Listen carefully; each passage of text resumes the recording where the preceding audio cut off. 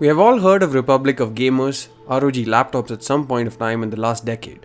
From the water-cooled GX700 to bulky desktop replacements like the G703 to thin pieces of art like the Zephyrus, the ROG lineup has catered to the needs of gamers with laptops of all shapes and sizes, with flashy accents and gamer aesthetics. But now ASUS seems to be taking a somewhat different approach, targeting the stealthy gamers amongst us who want all the goodies minus the flashy attire with the TUF series.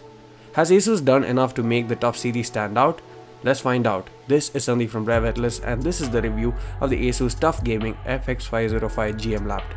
The build quality of the FX505 is above average.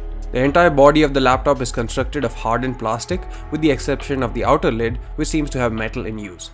We did find some flex to it which might be there to make it more shock resistant and to make matters confusing there was an evident flex on the keyboard deck as well which was visible when we typed even the slightest pressure on the keyboard. This gave us a feeling as if our unit lacked any sort of reinforced metal plate beneath the keyboard deck. The hinge on the other hand had a solid feel with almost no wobble and allows the display to open up to 145 degrees. Asus claims that the laptop comes with MIL 810G certification, which means that the laptop can handle day-to-day -day abuse without breaking a sweat. We don't want to verify the claim by drop testing it, but overall the chassis felt solid enough to make us feel confident that the claims are real. What really took us by surprise were the bezels or lack thereof at just 6.5mm on the sides.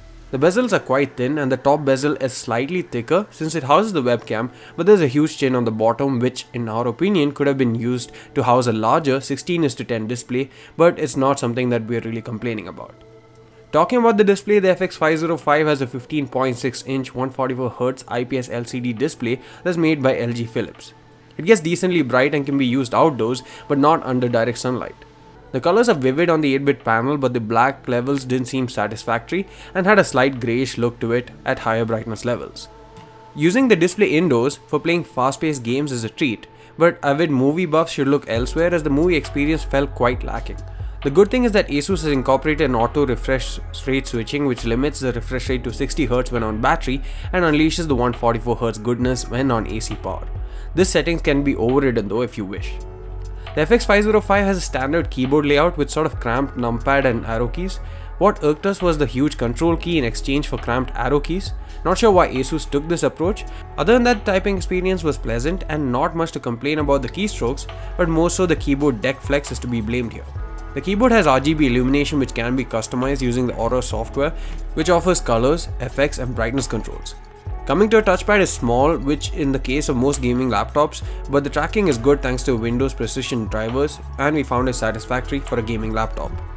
All the ports on the FX505 are placed on the right side of the laptop which includes a USB 2.0 port, two USB 3.1 Gen 1 Type A ports, one HDMI 2.0 port, 3.5mm combo jack, RJ45 Ethernet port, except for the Kensington lock which is on the left side. The port situation here is missing a USB Type-C port, SD card reader, Thunderbolt 3, USB 3.1 Gen 2 ports which is disappointing but we do laud ASUS for including full-size USB ports which are disappearing from laptops with each passing year. In terms of wireless connectivity, you get an Intel Wireless AC9560 module with integrated Bluetooth 5.0 support.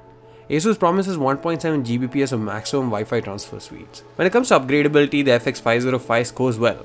There are two SODIMM slots present on the motherboard with only one populated out of the box, so you can add another 16GB stick and enjoy full 32GB of RAM for all the 4K rendering and heavy computational work that you might need to perform on this beast.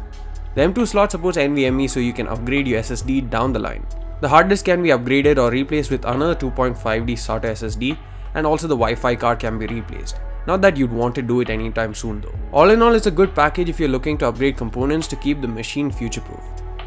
The FX5 lacks any sort of biometric unlock option, there's no fingerprint scanner or Windows Hello integration, which makes the situation here look dated as you have to enter your PIN or password every time you need to unlock the device.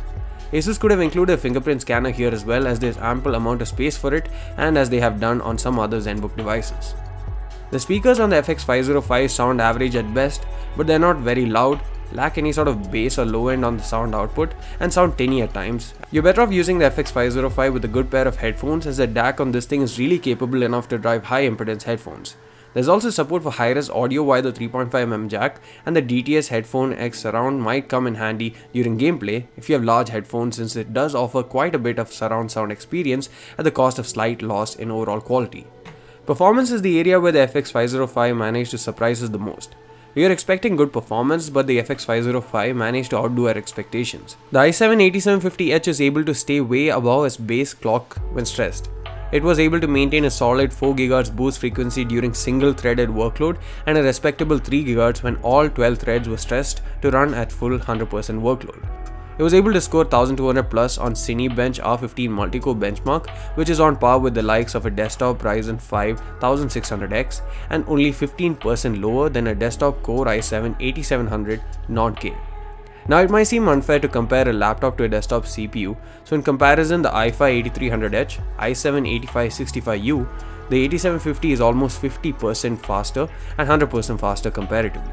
Coming to single threaded performance, which is what will get most gamers excited, the FX505 scored an excellent 175 points, which pushes the i7-8750H 7% ahead of the desktop Ryzen 5 1600X and on par with the Ryzen 5 2600X, but is still 13% lower than a desktop i7-8700. On the laptop CPU end, its score was similar to the i5-8300H and 3% better than an i7-8565U, which is impressive for a laptop.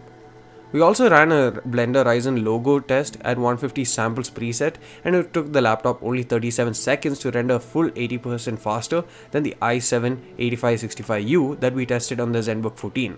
That puts it on par with the desktop i5-8400 and 20% and 25% slower than the desktop Ryzen 5 1600X and 2600X respectively. We also ran Blender BMW render tests, Geekbench 4 and WinRAR compression and decompression tests.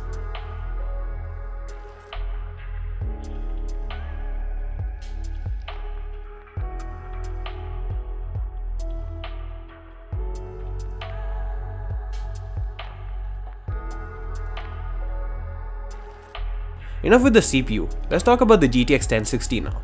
It was able to maintain a solid boost clock speed above 1650 MHz most of the time and scored 10750 on 3D Mark Firestrike DX11 benchmark.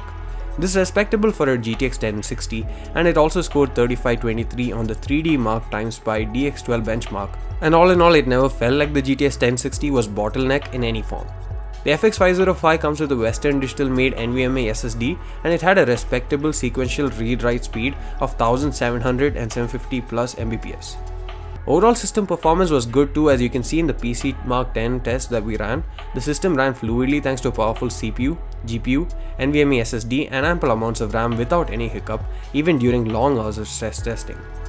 Speaking of stress tests, the thermals never went above 80 degrees Celsius on stressing the CPU alone and maintain an average temperature of 76 degrees Celsius. But when gaming, the temperatures went above 19 degrees Celsius since the GPU was pushed, but the laptop didn't get too hot to touch. Perhaps this is the result of the heat pipe design ASUS choose to go with when connecting the CPU and GPU together.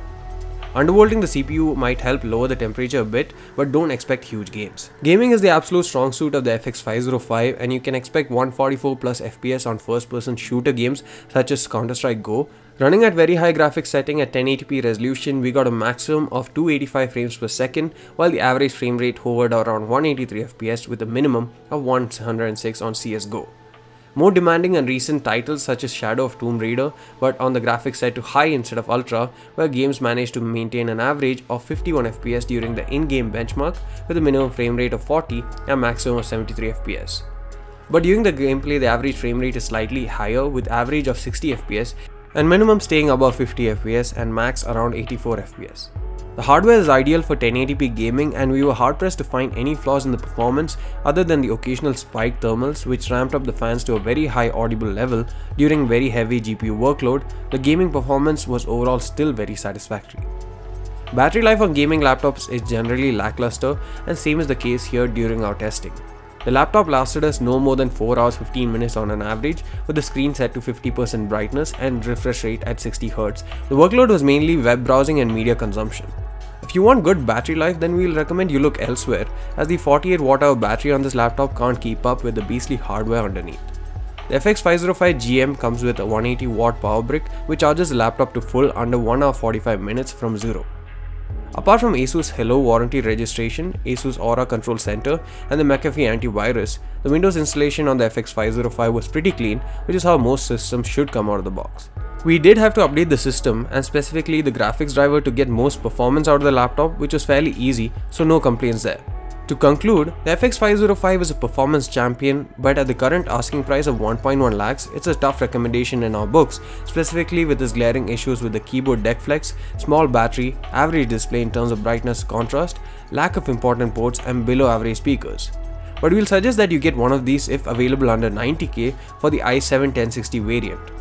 Thanks for watching. We are working to bring more PC and laptop stuff so till then do share this video and get subscribed to our channel for more videos like this. Thanks for watching. See you again in the next one.